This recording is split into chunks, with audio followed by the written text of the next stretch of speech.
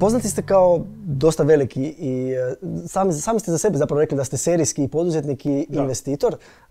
također ste jednom prilikom izjavili kako ne volite donositi odluke o stvarima koje zapravo nisu važne, već želite se fokusirati na stvari koje su doista bitne. Na dnevnoj bazi donosite velik e, broj odluka i također ne bojite se donijeti odluku koja bi možda mogla biti riskantna zato što smatrate kako nedonošenje odluke često zna biti i, veći trošak nego donošenje one krive, to naravno na nekom većem uzorku. Da.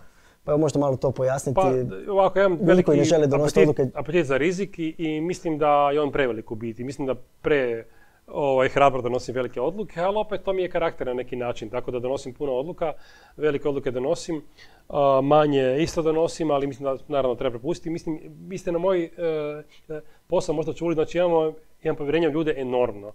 Tako da, općenito kad prodaš kompaniju, uh, obično kao osnivač moraš ostati još dvije, tri godine u kompaniji, to obično uvituju, isplatit ćemo ti te kraj, kad vidimo da se uspije napraviti tranziciju. Meni su nakon sedam dana rekli, to što smo tamo našli je toliko dobro da možeš ići nakon sedam dana, nakon sedam dana dođu naš međunarodni bord u London.